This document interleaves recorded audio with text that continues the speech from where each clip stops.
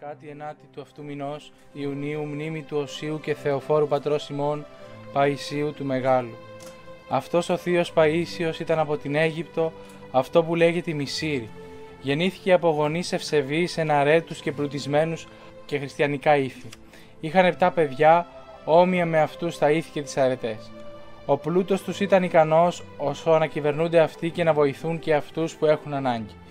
Διότι όσο αυτοί μοιράζουν στους φτωχούς τα υπάρχοντά τους, τόσο περισσότερο τους αποδίδει ο Θεός. Πεθαίνοντας ο πατέρας του, έμεινε πλέον όλη η φροντίδα και των παιδιών και των πραγμάτων στη μητέρα του.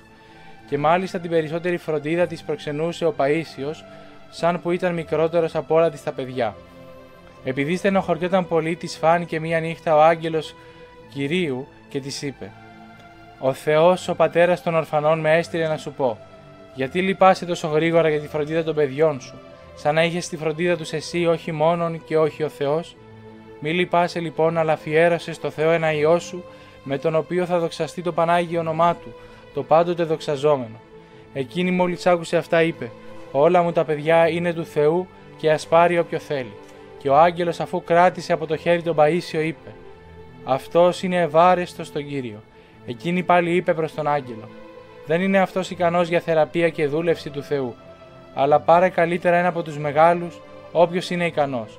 Και ο άγγελος είπε, εσύ ο καλύστη των γυναικών, λες ότι δεν είναι ικανός για θεραπεία Θεού ο Παΐσιος για το ανήλικο. Η δύναμη του Θεού όμως τους αδυνάτους συνηθίζει να δείχνεται, διότι αυτός ο μικρότερος των άλλων είναι ο εκλεκτός του Θεού, ο οποίος θα τον ευαρεστήσει. Αφού είπε αυτά ο άγγελος ανεχώρησε. Η γυναίκα αφού αποτείναξε τον ύπνο και θαύμασε τη Θεία Παραγγελία, δόξαζε το Θεό λέγοντας Γέννητο Κύριε του ελαιός εφημάς και επί των δούλων σου Παΐσιον.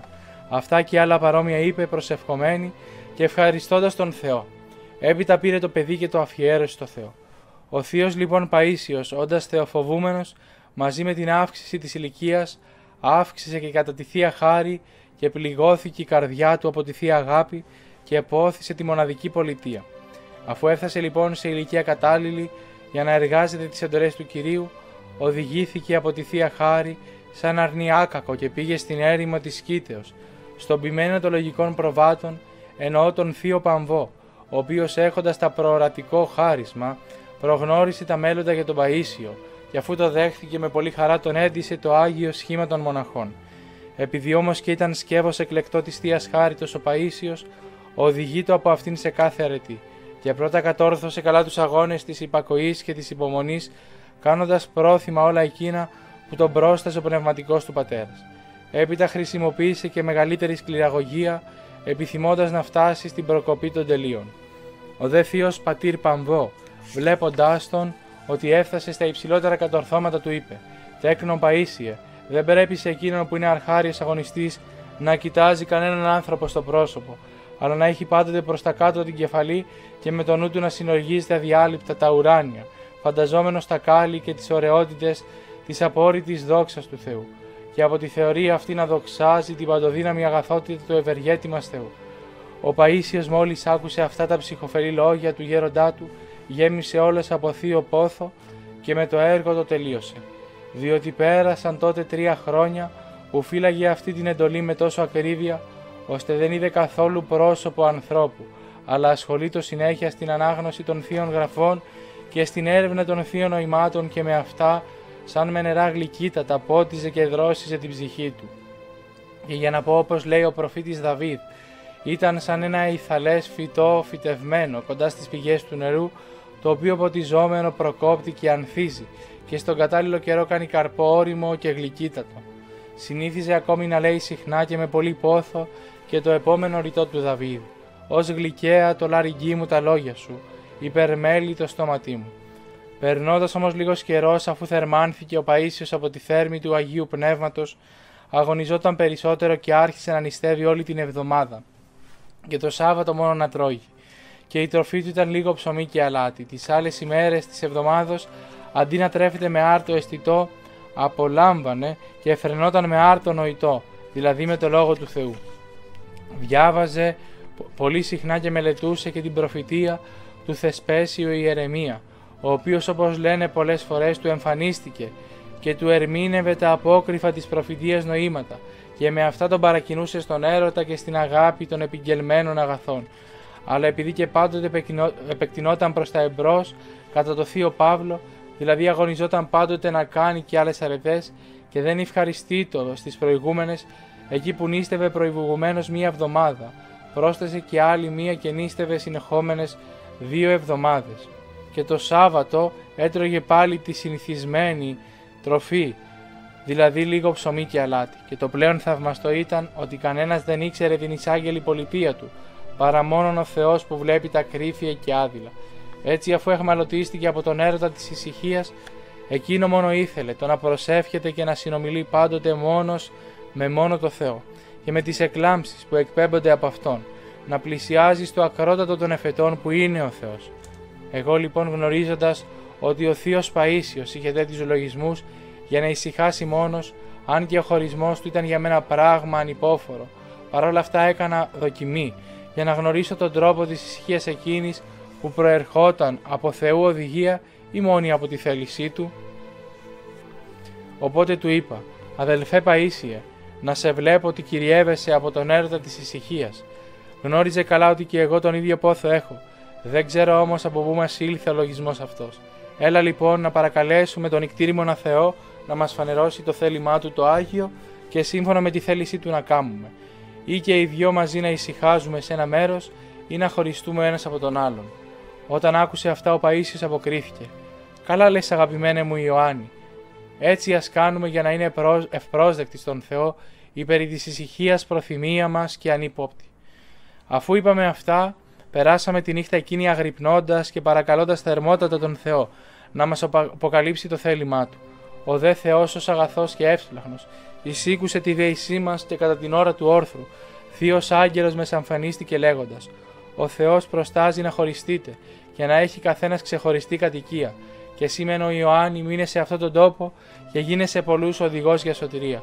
Ενώ εσύ Παΐσιε, θεράπων του Χριστού, αναχώρησε από εδώ και πήγαινε στο δυτικό μέρος της ερήμου και θα συγκεντρωθεί για σένα λαός αναρρύθμιτος, λέει ο Κύριος, και μοναστήρι θα νοικοδομηθεί και το όνομά μου θα δοξαστεί σε αυτόν τον τόπο. Αφού είπε αυτά ο άγγελος έγινε άφαντος. Εμείς όμως αφού υπακούσαμε στην προσταγή του χωριστήκαμε ο ένας από τον άλλον και εγώ μεν έμεινα στον τόπο εκείνο ενώ ο Παΐσιος πηγαίνοντας στο δυτικό μέρος της ερήμου έκοψε πέτρα και κάνοντας σπήλαιο κατοίκησε μέσα σε αυτό.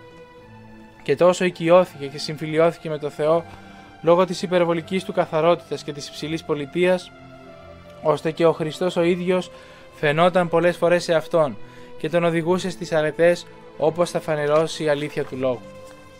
Διότι κάποτε εκεί όπου καθόταν μέσα στο σπήλαιό του, ο θείος Παΐσιος και δοξολογούσε το Θεό φάνηκε μπροστά του ο σωτήρας μας λέγοντας «Ειρήνη σε εσένα, στον αγαπημένο μου θεράποντα Παΐσιο». Και εκείνος αφού σηκώθηκε όρθιος έντρομος είπε Ιδού ο δούλος σου, τι ορίζεις δέσποτα, και ποια είναι η αιτία της προς εμές συγκαταβάσεώς σου. Και ο Χριστός αποκρίθηκε, βλέπεις την έρημο αυτή, η οποία έχει τόσο μάκρος και πλάτος. Όλη αυτή θα τη γεμίσω διαμέσου σου από ασκητές δοξάντας το δικό μου όνομα. Ο δε εκλεκτός του Θεού Παΐσιος, αφού έπεσε στη γήπε, αυτά που λες δέσποτα Κύριε, είναι υποταγμένα στην κρατεά σου χείρα και αμέσως με τη θέλησή σου τα έχεις και τελειωμένα. Παρακαλώ όμως την αγαθότητά σου, από πού θα έχουν τα απαραίτητα οι αγωνιζόμενοι στην έρημο αυτή και ο Σωτήρ αποκρίθηκε.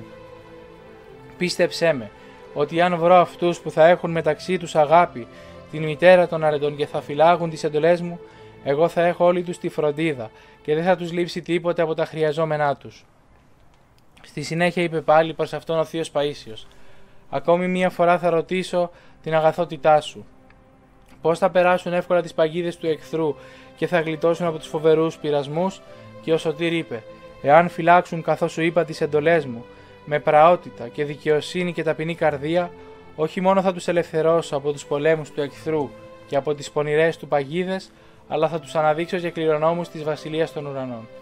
Αφού είπε αυτά, ο Σωτήρ ανέβηκε με δόξα στους ουρανούς. Ο ιερός όμως Παΐσιος έλαβε περισσότερο φόβο στον εαυτό του ευλαβούμενος την του Σωτήρος προς αυτόν συγκατάβαση. Τι μη χανεύεται όμως ο φθονερός και άνθρωπος εχθρός, βλέποντας τον θείο Παΐσιο ότι περνά με ασφάλεια τις παγίδες του και μένει αυλαβής από τις επιβολές του, έτριζε τα δόντια του και μην μπορώντας να τον πλησιάσει λόγω της δυνάμεως που δέχτηκε από το Θεό, προσπάθησε να τον νικήσει δόλια με άλλο μέσο. Δηλαδή δοκίμασε μήπως τον γυμνώσει από το καλό της ακτιμοσύνης και κατόπιν από τη θεία χάρη και έτσι τον πλησιάσει και τον νικήσει.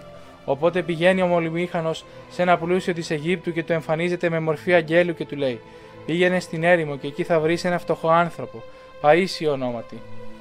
Πλουτισμένο όμως και λαμπρά στολισμένο με τις αρετές και σκεύος εκλεκτό της θείας Χάριτος, και προσκύνησε τον προσφέροντάς του πλουσιοπάροχα χρήματα πολλά για να τα μοιράσει ελεημοσύνη στους εκεί ασκούμενους μοναχούς. Ο πλούσιος, μη γνωρίζοντας τη δαιμονική πλάνη, πήρε ένα φορτίο αργύρια και φλωριά και πήγε στον Άγιο. Αλλά ο Θεός απεκάλυψε στο δούλο του την επιβολή του δαίμονα και τη μηχανή που μεθοδεύτηκε να του κάνει με τη δωρεά του Άρχοντα.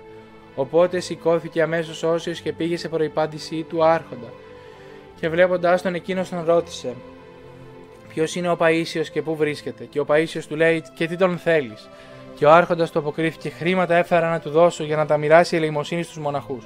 Και όσιος του λέει: Συγχώρεσέ μας, φιλόχρηστε άνθρωπε, επειδή εμείς δεν χρειαζόμαστε χρήματα, εάν θελήσουμε να κατοικήσουμε σε αυτή την έρημο. Μόνον πάρε τα και είπαγε εν ειρήνη και μη λυπάσαι. Διότι ο Θεός δέχτηκε τη δωρεά σου, εάν αυτά τα χρήματα που έφερες για να τα δώσεις στους μοναχούς τα μοιράσει του φτωχούς διότι στα χωριά της Αιγύπτου υπάρχουν πολλοί φτωχοί και ορφανοί και χείρες. Και αν βοηθήσει αυτούς, θα πάρεις από τον Θεό πολλαπλασίους τους μισθούς. Και ο Άρχοντας, υπακούοντας τα λόγια του Αγίου, επέστρεψε στην Αίγυπτο. Επιστρέφοντας όμως και ο Παίσιος στο σπηλαιό του, του εμφανίστηκε ο διάβολος λέγοντας: Ω βία, δεν μπορώ Παίσιο να σου κάνω τίποτε, διότι έδιωξες τα σχέδιά μου, μόνο φεύγω από εσένα και πηγαίνω να πολεμήσω άλλους, και σε σένα πλέον δεν έρχομαι διότι νικήθηκα. Όσιος όμως αφού τον επιτίμησε είπε: Σιώπα διάβολε, διότι είσαι πολύ στην κακία. Και έτσι κατατροπιασμένος διώχθηκε και στο εξής δεν τολμούσε να τον πλησιάσει. Ο θείος Παίσιος πήγε τότε στη βαθύτερη έρημο, και ως προς το σώμα κατοικούσε εκεί με σκληρή και σχεδόν άσαρκη διαγωγή. Ω προς δε το πνεύμα συλλογιζόταν τα επουράνια και συνομιλούσε με το δεσπότη Χριστό. Στο θείο Παίσιο συνέτρεχαν με ευδοκία Θεού πλήθη αναρρύθμιτα μοναχών και λαϊκών, επιθυμώντας να συγκατοικήσουν με αυτόν οι οποίοι αφού τον περικύκλωσαν Όπως οι μέλισσε στο κερί απολάμβαναν αχόρταγα το νοητό μέλι και τη γλυκύτατη διδασκαλία του και τα θαυμάσια γλυκενόμενοι από αυτήν άφηναν τον κόσμο και τα εν κόσμο και καθημερινά αυξανόταν ο αριθμός των μοναχών.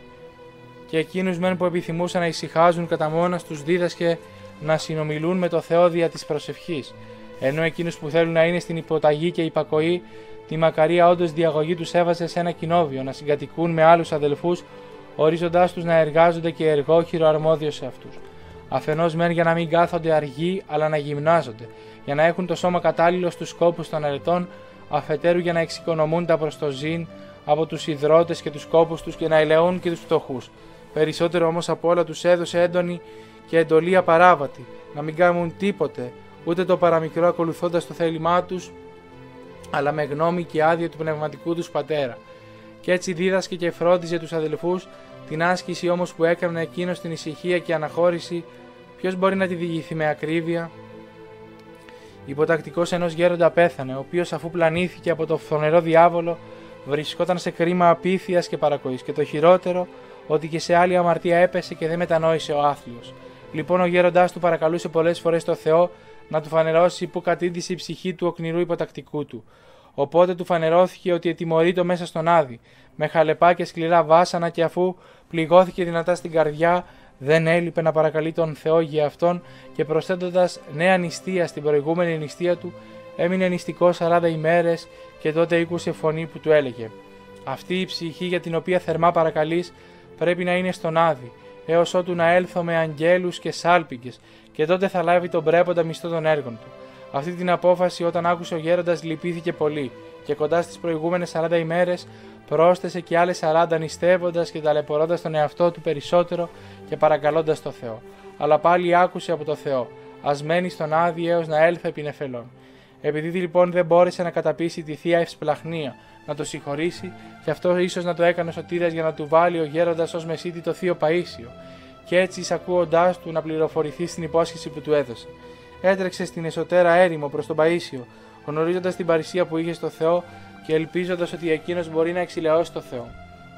Ο Όσιος γνωρίζοντας με τη θεία χάρη τον ερχομό του γέροντα, βγήκε σε προπάντησή του και μετά τον ασπασμό που είχαν μεταξύ τους του είπε: Γιατί πάτερ ήλθε σε εμένα τον Ευτελή και αμαρτωλό και ταλαιπωρήθηκε τόσο πολύ, και ο γέροντας διηγούμενος τη συμφορά του μαθητή του και τις δεήσεις που πρόσφερε στο Θεό για αυτόν και την απόφαση που άκουσε ότι θα παιδεύεται στον Άδη έως τις παρησίες του κυρίου, είπε: Γι' αυτό ήλθα να παρακαλέσω την οσιότητά σου, για να με συμπονέσεις στον ταλέπορο και να παρακαλέσεις το Θεό για τον άθλιο μαθητή μου, διότι πιστεύω ότι αν τον παρακαλέσεις θα σε εισακούσει. Λοιπόν, μη με αφήσεις παραπονεμένο, αλλά παρακάλεσέ τον, διότι διαφορετικά δεν φεύγω από εδώ. Αυτά λέγοντας ο καλός εκείνος γέροντας κατέπισε περισσότερο με τα δάκρυά του παρά με τα λόγια του το Μέγα Παίσιο να παρακαλέσει το Θεό να εξηλαιώσει τους εκτιρμούς του. Και λέει προς το γέροντα: Ω ιερά κεφαλή, δεν μπορώ να επιχειρήσω τέτοιο έργο, διότι αυτό είναι έργο δικό σου και της ειδικής σου μεγαλοψυχίας. Και αν προς το παρόν δεν σου ακούει ο Θεός για τους λόγους που ξέρει μόνο αυτός, διότι τα κρίματά του είναι άβυσος πολύ. Όμως για να μην παρακούσω το πρόσταγμά σου, να, παρακαλώ τον Θεό μαζί με την οδυσιότητά σου και ό,τι φανεί αρεστό ας γίνει. Λοιπόν, μένοντας εσύ σε αυτόν τον τόπο, παρακάλεσε το Θεό και εγώ πηγαίνω στη βαθύτερη έρημο να τον παρακαλέσω. Και πηγαίνοντας εκεί, στάθηκε σε προσευχή και αφού ύψωσε τα χέρια του και τον νου του στον ουρανό, είπε: Δημιουργέ των απάντων, επίβλεψον εις τας δεήσει ημών, των αναξίων δούλων σου και ως αγαθός, ελευθέρωσαν από τα δεσμά του άδου την ψυχή του μαθητού του γέροντος Αυτά και παρόμοια προσευχόμενος στο Θεό δεν υπήρχε τρόπος να μην εισακουστεί σύμφωνα με την αψευδή υπόσχευση που έλαβε. Αλλά αμέσως ο Χριστός, ο πανταχού παρών, αόρατα, του φανερώνεται και του λέει: Τι ζητείς ολόψυχα, δούλε μου Παίσιε. Εκείνος αποκρίθηκε: Εσύ κύριε που γνωρίζεις τα πάντα, γνωρίζεις ότι ζητώ να ελεήσεις τον παρήκο και αμαρτωλό μαθητή του γέροντα που βασανίζεται, αλίμονος στον άδειο ταλέπορος. Λοιπόν, σε παρακαλώ, επάκουσε το δούλο σου και ως συμπαθής και πολύ εύστραχνο λύτρωσέ τον. Είπε δε προς αυτόν ο Σωτήρ, αλλά εγώ αποφάσισα να μένει εκείνος στον άδει και να βασανίζεται για την παρακοή του και την αμαρτία του έως ότου να έλθει επί νεφελών με τα αγγέλων. Και εκλεκτός του κυρίου Παίσιο, παρακαλώντας τον πάλι είπε: Δέσποτα των απάντων, και ποιο πράγμα δεν υποτάσσεται στο πρόσταγμά σου όταν θελήσεις, εύκολο είναι σε σένα τον δεσπότη των αιώνων και ποιητή των όλων όντων, να ενεργήσεις και τώρα με τον ίδιο τρόπο, όπως με εκείνον εκείνη της μελούσης της παρουσίας σου. Και αφού άκουσε αυτά, ο Σωτήρ ανέβηκε στους ουρανούς. Έπειτα κατεβαίνει επί νεφελών με δόξα πολύ με αγγέλους και αρχαγγέλους και με σάλπιγγες, αλλά με γεχορού δικαίων και με άλλα όλα εκείνα, με όσα θα κατέβει εν τη εσχάτη μέρα της χρήσεως. Και στη συνέχεια τέθηκαν θρόνοι και καθέδρα φοβεροί. Ύστερα ανακλήθηκε και η ψυχή του πεθαμένου υποτακτικού και βγήκε από τον Άδη. Και αφού παρουσιάστηκε στον κριτή, δόθηκε στα χέρια του Παϊσίου. Έπειτα δόθηκε στο γέροντά του, ο οποίος την ώρα εκείνη προσευχόταν με πολύ αγώνα όπως συμφώνησαν προηγουμένως και οι δύο να προσεύχονται. Και άκουσε φωνή από τον ουρανό που έλεγε: Απόλαβε την ψυχή του μαθητή σου με τα χέρια του θεράποντά μου Παίσιου, που ελευθερώθηκε από τον Άδη και δεν θα τη δεις πλέον στα βάσανα αλλά σε ανάπαυση. Και αμέσως ήλθε η ψυχή του μαθητή και παρουσιάστηκε μπροστά στο γέροντα και ομολόγησε ότι πολύ υπέφερε από τα βάσανα δυσκολάσεως για αυτή την παρακοή. Επειδή αυτή του έγινε αιτία να πέσει σε αμαρτία, για αυτήν δοκίμασε τα δεινά του Άδη. Αλλά με τις δικές σου ευχές και του θείου Παϊσίου με σπλαχνίστηκε ο φιλάνθρωπος Θεός και με ελευθέρωσε από τα δεσμά του Άδη και να πηγαίνω στον τόπο των δικαίων. Οπότε αποθώντας να τον δω κι εγώ, λέει ο Όσιος Ιωάννης, ο σαν που μπορούσε από μόνη τη θεωρία του να απολαύσω θεία χάρη, πήγα σε αυτόν και πριν να χτυπήσω την πόρτα του κελιού του, τον άκουσα που μιλούσε μέσα με άλλον άνθρωπον και συστελωμένος να χτυπήσω έμενα έξω. Έκανα όμως λίγο θόρυβο, τον οποίο όταν άκουσε ο τίμιος πατέρας, βγήκε έξω και βλέποντάς με όλος χαρά με αναγκαλίστηκε και με ασπαζόταν, και εγώ όμοια έκανα με εκείνον. Έπειτα μπαίνοντας με αυτόν στο κελί και μη βλέποντας μέσα κανέναν άλλον, απορούσα και συλλογιζόμουν ποιος να ήταν άραγε εκείνος που πριν από λίγο συνομιλούσε με τον Όσιο. Και κοίταζα το ένα μέρος και το άλλο, για να δω κάποιον, και εκείνος με ρώτησε: Γιατί κοιτάζεις εδώ και εκεί και απορείς σαν να βλέπεις κανένα παράξενο πράγμα; Και εγώ του αποκρίθηκα, και όντως παράδοξο βλέπω, και απορώντας δεν ξέρω τι να πω, διότι προ λίγο άκουσα φωνή άλλου ανθρώπου που συνομιλούσε με εσένα. Και τώρα δεν βλέπω κανέναν άλλον. Και τι είναι αυτό δεν ξέρω. Παρακαλώ λοιπόν την οσιότητά σου να μου φανερώσει αυτό το παράδοξο μυστήριο. Ο δε θείος πατέρας μου είπε: Ω Ιωάννη, μυστήριο παράδοξο θα σου αποκαλύψει σήμερα ο Θεός. Και εγώ πρέπει να σου φανερώσω την αγάπη που έχει σε εμάς η αγαθότητά του.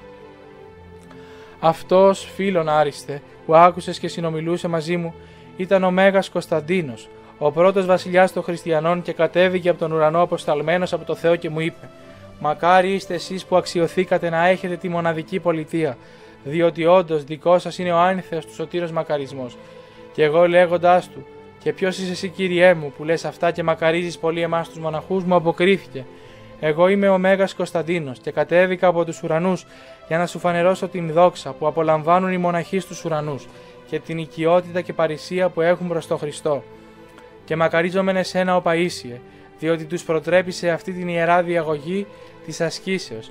Μέμφωμαι όμως και κατηγορώ τον εαυτό μου, διότι δεν πέτυχα αυτή την τόσο μεγάλη τάξη των μοναχών και δεν ανέχομαι τη ζημία που έπαθα. Και λέγοντάς του εγώ, γιατί ο θαυμάσιε κατηγορείς τον εαυτόν σου, άραγε δεν απόλαυσες εσύ την αίδια εκείνη δόξα και την θεία έλαμψη, μου αποκρίθηκε. Ναι, την απόλαυσα, αλλά δεν έχω την ίδια παρησία των μοναχών, ούτε την ίδια τιμή με εκείνους, διότι έβλεπα τις ψυχές μερικών μοναχών, οι οποίες αφού χωρίστηκαν από το σώμα, πετούσαν σαν αετή και με θάρρος πολύ ανέβαιναν στους ουρανούς, και το αντίθετο τάγμα των δαιμόνων δεν τολμούσε να τις πλησιάσει καθόλου. Έπειτα έβλεπα ότι ανοίγονταν σε αυτές οι θύρες του ουρανού, και έμπαιναν μέσα και φαινόμενες στον ουράνιο βασιλιά, παραστέκονταν με πολύ παρησία στο θρόνο του Θεού. Γι' αυτήν λοιπόν την αξία θαυμάζοντας εγώ εσάς τους μοναχούς, σας μακαρίζω και κατηγορώ τον εαυτό μου, που δεν αξιώθηκα να λάβω την παρησία αυτή, και μακάρι να μπορούσα να αφήσω την πρόσκαιρη βασιλεία, και το φόρεμα το βασιλικό και το στέφανο, και να γίνω πτωχός και να φορώ σάκο, και να δεχθώ όσα όλα ζητεί η μοναδική πολιτεία. Εγώ πάλι είπα, όλα καλά τα λες, ο ιερότατε βασιλιά, και μας παρηγορείς με αυτά. Όμοιο τέτοιες πρέπει να είναι οι κρίσεις του Θεού μας και δεν είναι δίκαιο να πούμε διαφορετικά για τη θεία δικαιοκρισία, διότι ο δίκαιος χρητής όλα με δικαιοσύνη τα αποδίνει καταξίαν στον καθένα και σύμφωνα με τους σκόπους του καθενός αποδίνει και την πληρωμή, διότι η δική σου ζωή δεν είχε τους ίδιους σκόπους, ούτε ήταν όμοια με τη ζωή των μοναχών, διότι εσύ μεν είχες τη γυναίκα βοηθός σου, τα παιδιά σου, τους δούλους σου και διάφορες απολαύσεις και αναπαύσεις, ενώ οι μοναχοί, καταφρονώντας όλα τα ευχάριστα και χαροπιά της παρούσας ζωής, έλαβαν τον Θεό αντί για όλα αυτά τα καλά του κόσμου και αυτόν είχαν χαρά και πλούτο δικό τους και το να κάνουν τα ευάρεστα σε αυτόν το θεωρούσαν τρυφή μεγάλη απόλαυση και ήταν κατά τον Απόστολο υστερούμενοι, θλιβόμενοι, κακουχούμενοι. Οπότε αδύνατος σε σένα βασιλιά μου να γίνει ίσως με εκείνους. Όταν λοιπόν λέγαμε εμείς αυτά, ήλθες και εσύ αδελφέ μου Ιωάννη. Εκείνος όμως αμέσως ανέβηκε στους ουρανούς. Οπότε τώρα που έμαθες φανερά με αυτό το μυστήριο, πόσα καλά προξενούν οι πόνοι της ασκήσεως, στήριξε τους αδελφούς. Όταν άκουσα αυτά, εγώ Ιωάννης, ευχαρίστησα πολύ το Θεό. Κατόπιν, αφού συνομίλησα αρκετά με το θείο Παίσιο, επέστρεψα στην κατοικία μου χαρούμενος και αγαλόμενος. Και αυτά λοιπόν έτσι είναι. Ο λόγος όμως θέλει να δείξει και τον διάπειρο ζήλο που είχε στην πίστη ο Μέγας Παίσιος. Μία φορά είχε ο ιερός Παίσιος 21 ημέρες που νίστευε. Του εμφανίστηκε ο Χριστός και του είπε: Πολύ κακοπαθή για εμένα, εκλεκτέ μου Παΐσιε. Και αυτός είπε, γιατί μεγάλο πράγμα είναι η δική μου τυποτένια κακοπάθεια, αγαθέ μου δέσποτα. Μάλιστα που η αγαθότητά σου μου δίνει τη δύναμη. Ο Σωτήρ είπε, κάθε καλό έργο μου είναι ευπρόσδεκτο και θα ανταποδώσω το μισθό σε εκείνους που το κάνουν, ίσον με τους σκόπους τους. Γι' αυτό ακολούθησέ με. Ο δε Παΐσιος τον ακολούθησε, έως ότου πήγε σε ένα σπήλο της ερήμου.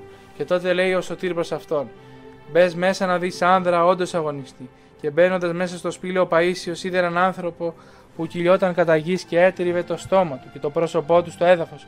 Και απορώντας για τον υπερβολικό αγώνα του άνδρα, βγήκε έξω παρακαλώντας να μάθει από τον Ιησού Χριστό το αίτιο του μεγάλου αγώνα του άνδρα. Και ο κύριος του λέει: Είδες το δικό μου αγωνιστή πόσο μεγάλους σκόπους υπομένει για μένα. Τον είδα δέσποτα, του λέει ο Παίσιος, και έφρυξα στους πόνους των αγώνων του. Αλλά παρακαλώ την αγαθότητά σου να μου φανερώσεις γιατί έχει τόσο αγώνα. Και ο Σωτήρ του λέει: Δύο μέρες έχει μόνο που νηστεύει, και να τον βλέπεις πόσο ταλαιπωρείται από την πείνα και τη δίψα.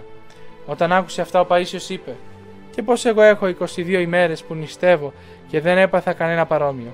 Διότι εσύ, του είπε ο Σωτήρ, ενισχύεσαι από τη χάρη μου και νηστεύεις άκοπα. Εκείνος όμως ως αθλητής από μόνη την προαίρεσή του νηστεύει, με κόπο πολύ και φλεγόμενος από τον πολύ πόθο που έχει για μένα. Δέχεται να υποφέρει περισσότερο από τη δύναμή του. Κατόπιν ρωτώντας ο Παίσιο τον κύριο, ποια αμοιβή θα λάβει από την αγαθότητά του για τις δύο ημέρες που αποκρίθηκε ο κύριος. Όμοια με εκείνη που θα λάβεις εσύ για τις 22 ημέρες και εξίσου θα πω: Είσελθε στη χαρά του κυρίου σου.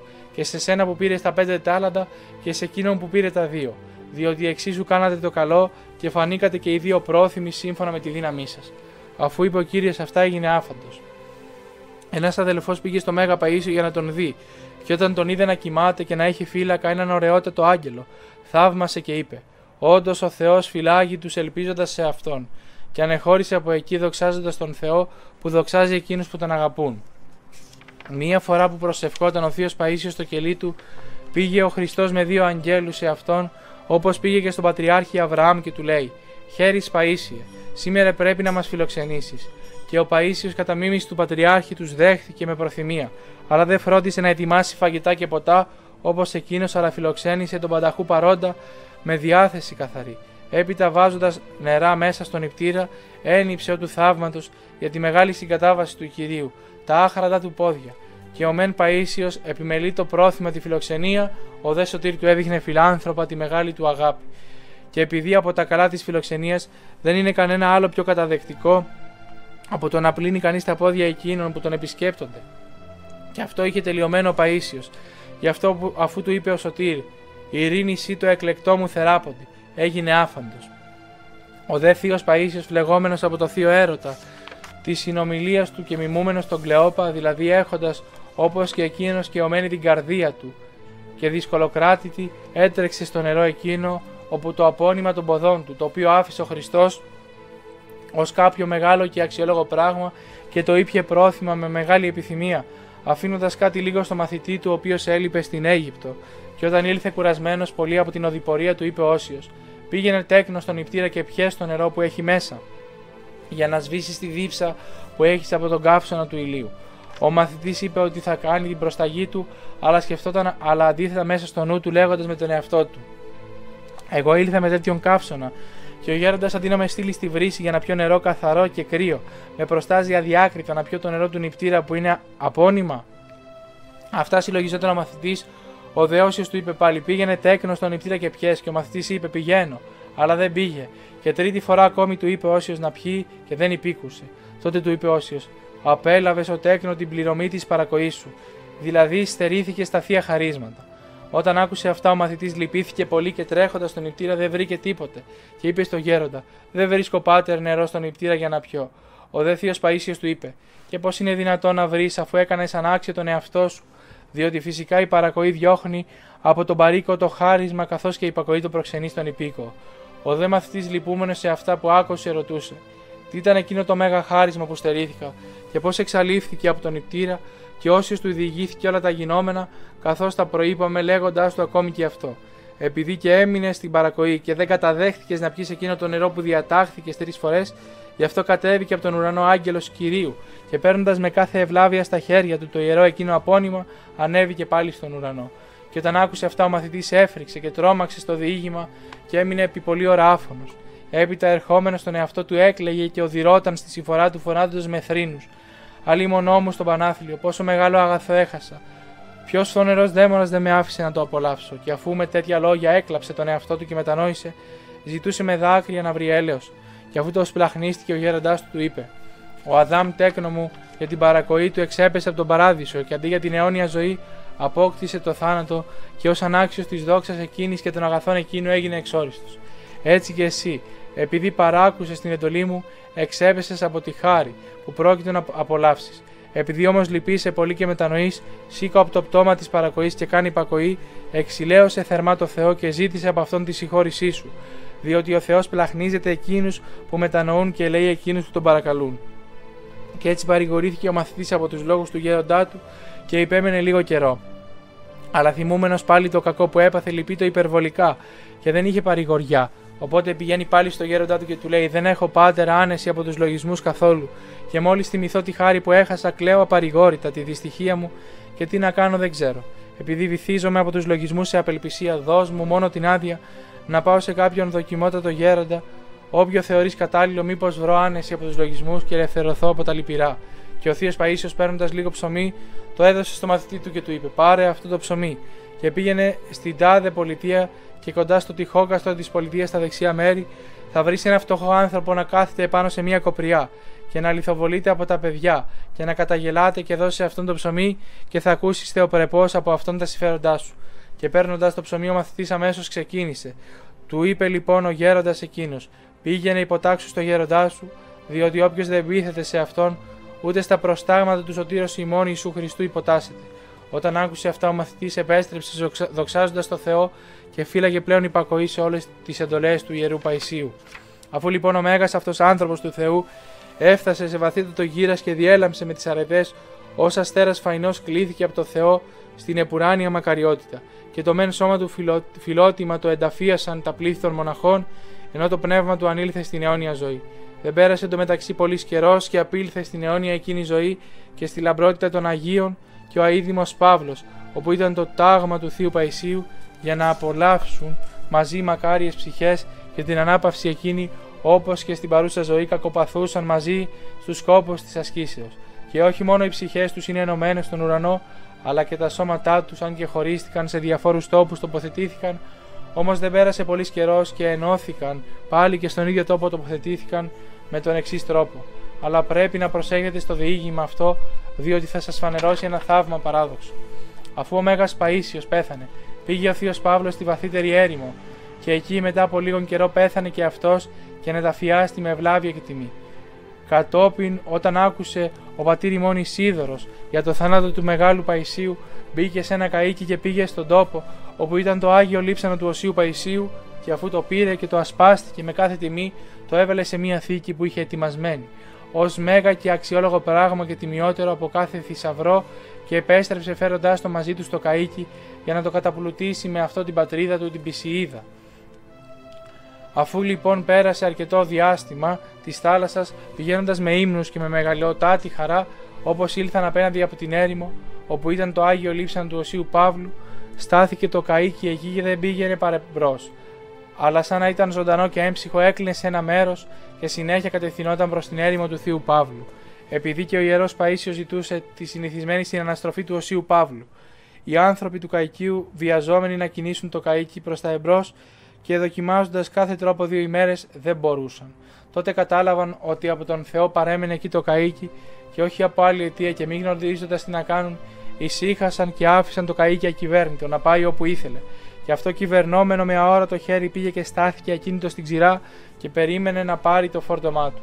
Και βλέποντας αυτό εκείνοι που ήταν μέσα στο καίκι είχαν μεγάλη απορία και λύπη αλλά την ώρα εκείνη πήγε στην παραλία ένας γέροντας από τους περίφημους πατέρες της ερήμου εκείνης Ιερεμίας λεγόμενος και τους είπε: Γιατί άνθρωποι αντιμάχεστε στο θείο θαύμα που βλέπετε, πως είναι πάνω από τη φύση μας, το φίλο του και συνασκητή του θείο Παύλο.